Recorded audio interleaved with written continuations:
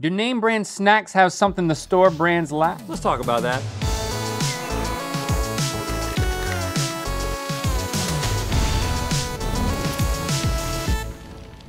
Good mythical morning. Now, the Renaissance may be long in the past, but we are currently living in a golden age of snacks, a snackissance. Hmm. Yeah, because Michelangelo may have sculpted David, but in these times, Cheez Its and Teddy Graham sculpt third graders. Okay. Now, I know you, you had a big snack game in your kitchen growing up. What was your favorite after school snack? Um, well, I would usually prepare myself an entire meal when I got home from Okay. uh, school, so you know the meal. What, do you know my favorite snack after school at your house? Uh, bacon bits. Yeah, that's it. Well, I, Not, not really a snack. It's a topping that you commandeer. technically Bacos, they were artificial bacon bits, but um, and I yeah, I don't know if I'd call them a snack at all, at least to me. But all the best snacks have generic knockoffs at lower price points. Uh, but the question is, are they just as good? It's time for Knockoff Knockout Snacks Edition. All right, we're going to be presented with several rounds of snack products. One of them is going to be from a well-known name brand. The other three will be non-name brand, generic versions of that same product. Yeah, we're gonna be competing to try and correctly identify which one is the name brand snack, and the winner in the end is gonna get an outfit that makes him look like a total snack. Okay, bring on the snacks. First up, we got a classic mini treat, Ritz Bits. And how does the original, which we need to identify, stack up against or sandwich up to the knockoffs? Man, they are all very identical, and there's a little bit of a No, the difference. cheese the cheese is different. Like the cheese in this one is the same color as the cracker. Yeah, this is all uniform. That tastes good. Oh man, oh, it's good. It's strong. That cheese is strong. Yeah. Now this one this one looks the same. Again, the cheese is the same color as the cracker. It's the same. The cheese is not as strong. Are you sure? I'm sure, buddy. They taste no different to me. Maybe Maybe, the edge is off. Because maybe this one's more salty. now And then this one, if you look at it, the cracker is a little more toasted, and the and the, and the cheese is is got orange. an oranges orangeness to it. I'm not even going to eat that one because I don't think there's enough cheese in it. Mm. Butterier. That's good. That's good. That's real good. These weren't bad, but this is dramatically better. The cracker itself. And those taste like almost like a cookie. Hmm. Okay, we're going to be guessing with our flags. As you can see, mine is a play on Ritz crackers because my name is Rhett. Mine says Linky Maid because uh, I also have a part-time job as a maid. All right, I, I got to vote for. wait. oh, Well, there's a 3 I'm gonna two, three, one. two, one. I got to vote for the. Uh, Nicely not stabbing. Put your things in. yeah, Three, right. two, one. It has to be Oh, this th- one. I mean, if this is not Ritz bits, then this sh- they should start just putting these in the and Ritz it's, bits it's bag. not really about the cheese as much as the butteriness of that cracker. You are both correct. yeah. Oh yeah, You, night know, and you know what else they got right? Okay, the cheese. First of all, they went the extra mile to make the color of the cheese more appetizing. Mm-hmm. The cracker is distinct, but you see the toastiness around the edge of the cracker? No other replica gets close to achieving that. The others are 365 from Whole Foods, O Organics from Safeway Vons, and Trader Joe's. Trader Joe's are the worst, but they're all crap compared to the original. Don't be fooled. They're all crap. All right, next snack is Honey Maid Graham Crackers, which by themselves are a snack of their own, but coupled with chocolate and marshmallows, you get an even stronger snack, like a reverse Harry Styles in One Direction. Let's give it a snack. So these are these are the darkest. And then it, for me, one of the tests is how is the um, the pun- Perforation? the punctua- perforations. Yeah, up. The perforations in this are basically just there is no perforation, it's just for show. Um, the perfor um, yeah, I don't. Doesn't taste bad. The perforation in these is so strong. Does it work though? Oh, Yeah. Oh bro- yeah. it It just works. broke. I I it just Look, look, broke look. on its own. Oh, oh, the perforation is very functional. The holes are deeper. Very functional perforations. The te- it doesn't have nearly the flavor as the first one. It tastes like cardboard. Yeah. I'd rather get taste than perforates. Okay. I we go. feel like graham crackers are a snack where you have to like let them sit for a moment In your mouth. In mouth? your mouth, yeah. Okay. You know what I mean? You gotta like soak them a little, Soak them with what? soak them with saliva. I'm doing it. Nah. These have got the perforation game here is just through the roof, but the flavor does not top number one. Maybe we just don't like graham crackers by themselves. By themselves. Are you choking? Yeah, choking on graham crackers. All right. Again, great perforation. Perforation here. is across the board for these third. Crispy. letting it marinate. Hmm. Crispy, and there's a vanilla flavor in there. It's not, it's not bad, but it's not it's not what you it's not what you sign up for when you when you when you beep beep beep. Are you ready to nicely stick your sticks in your choice? How could the tastiest one not have any perforation? And how could the copies of the original have better perforations? Right. Why would you take the time to be like, we really got to get the perforations right if the perforations were wrong to begin with? All right, I have one go. little thing I'm going on. Three, two, one. I'm going on the slight vanilla flavor in those. There's no way. I've never tasted that vanilla. The Honey Maid Graham Crackers are in bowl number four. You're right. yeah.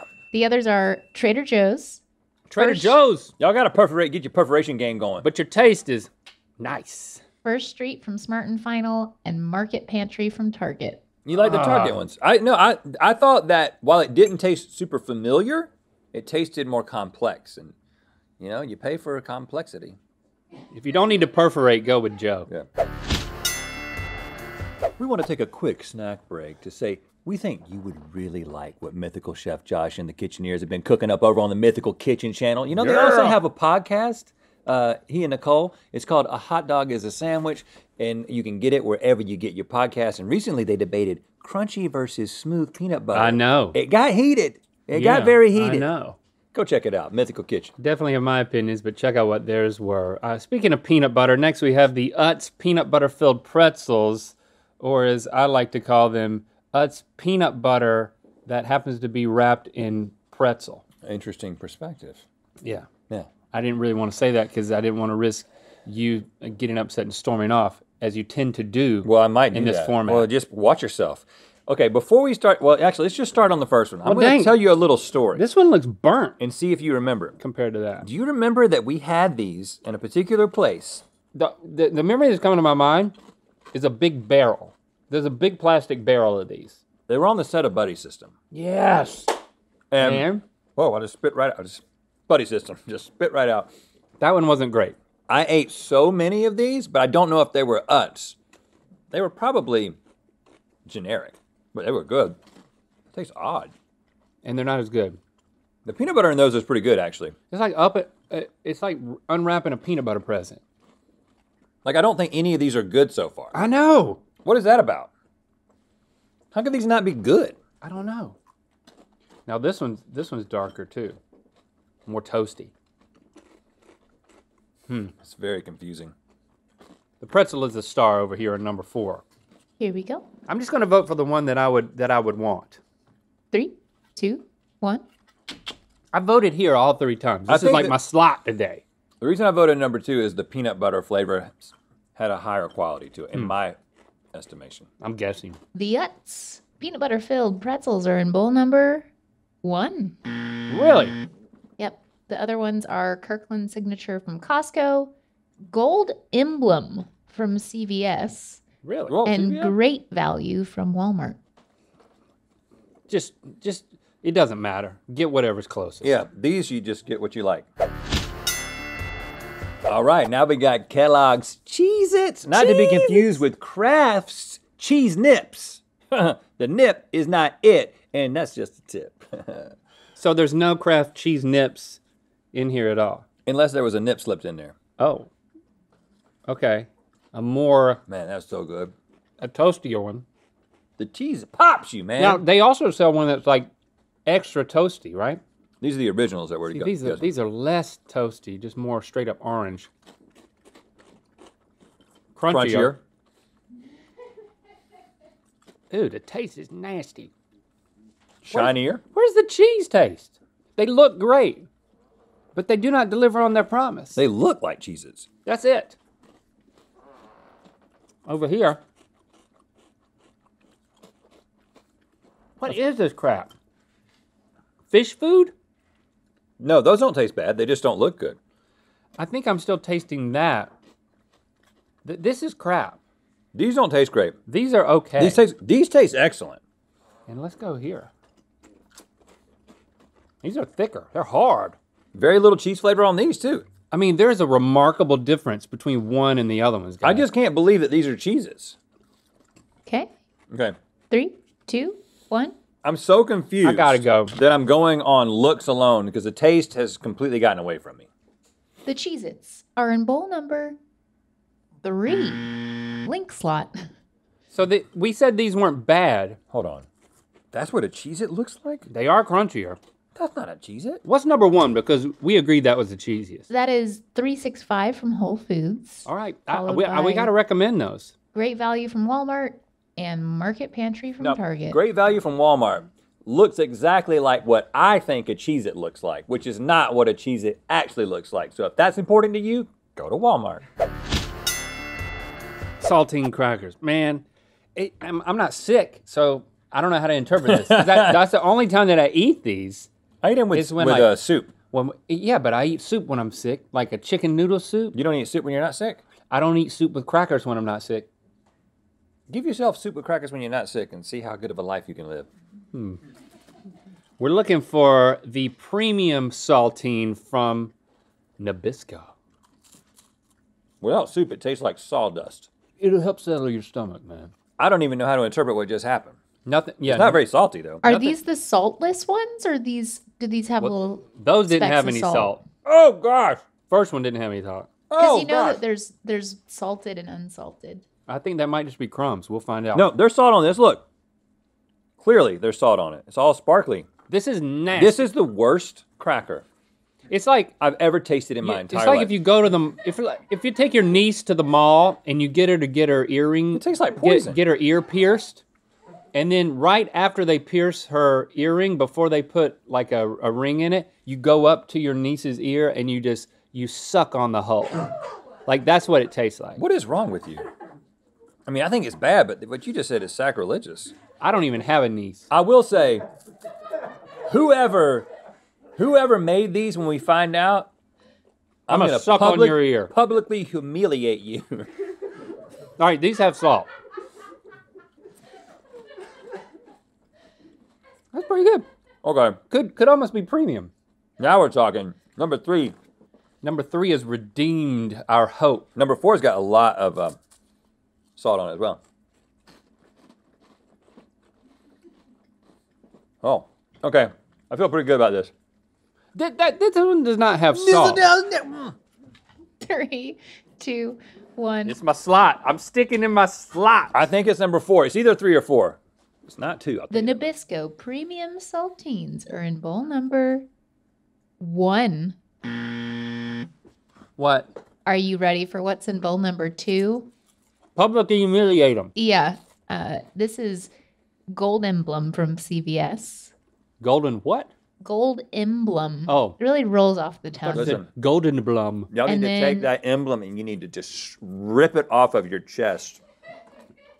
I will never go into a CVS again because of that. Then it's 365 from Whole Foods about that? and Kroger. Kroger was great. Kroger was better than the original. Yeah. Not surprising. They usually bring that game. I got to tell you, Rhett, congratulations because you won. That's, I'm congratulally obligated. Oh, look at you. You get to look like a snack.